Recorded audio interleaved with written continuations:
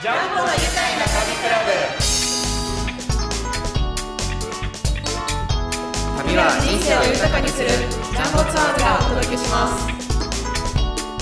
おはようございます。さあ今日は2日間で国内旅行1コースは久しぶりにミステリーツアー今回はグルメと源泉かけ流しの温泉に泊まっていただくコースでミステリーツアーご用意しましたまずは新緑に包まれた大自然の中で名物料理のお昼をご用意しました。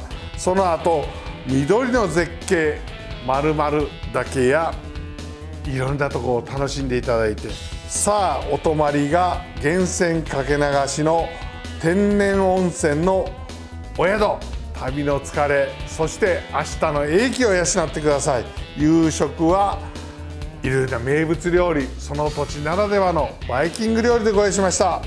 2日目まるまるアーチの橋をくぐっていろんな観光をたっぷり入れました。名城まるまる城にも行きますよ。さあこのコースが5月の15日から6月いっぱいまで。4万9800円から5万2800円でご用意しました。さあ1コースはこちらの方は日本トランスオーシャン航空の大阪関西空港行きの朝一番機で行きますので9時10分には関西空港に到着します。さあ専用貸切バスに乗っていただきまして京都行きます。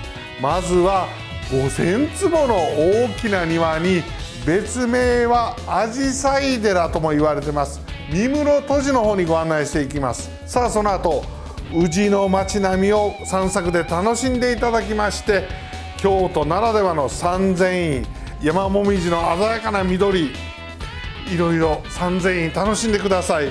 お泊まりがワンランクへの京都東急ホテルでご用意しました。さあ次の日の朝朝食京都東急ホテルならではの朝食を食べていただくその前後にぜひ東急ホテルの素晴らしいお庭楽しんでください。さあ翌日2日目です。6月ご出発の方限定嵐山宝豪院特別拝観嵐山借景。四宿の庭こちらを公開されてます。こちらの方にご案内していきます。さあ東山清水寺へご案内します。こちらの方はたっぷり3時間清水ならではの散策の時間を設けました。2年坂3年坂そして今話題の安いこんぴら宮。花見工事この辺りたっぷり京都の風情の中に皆さん方楽しんできてください。さあその後バスで関西空港から日本トランスオーシャン航空の最終便で沖縄の方には10時25分。ちょっと夜遅くなるんですが2日間たっぷり京都を楽しんできてください。